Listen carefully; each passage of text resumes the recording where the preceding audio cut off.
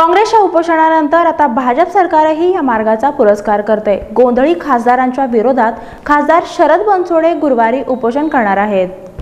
भाजप सरकार सत्तेवर आल्यापासून देशात जातीय तेढ निर्माण होत चालल्याबद्दल काँग्रेसच्या वतीनं देशभर उपोषण करण्यात आलं. त्याला प्रत्युत्तर देत भाजपानं असाच मार्ग निवडलाय.